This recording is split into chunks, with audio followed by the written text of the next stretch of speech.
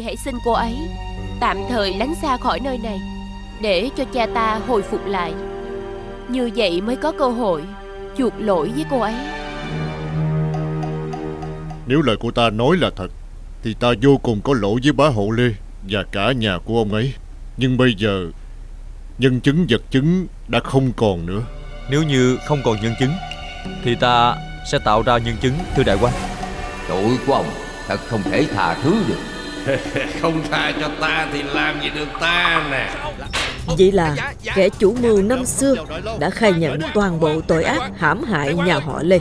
Ổng còn đi khắp nơi Điều gì sẽ đến với chàng trai nghèo lương thiện sau khi giúp quan tri phủ giải được án quan? Mời quý khán giả đón xem phần cuối của phim cổ tích Chàng trai nghèo và con quỷ phát sóng vào 20 giờ Chủ nhật ngày 17 tháng 12 năm 2023 trên kênh truyền hình Vĩnh Long 1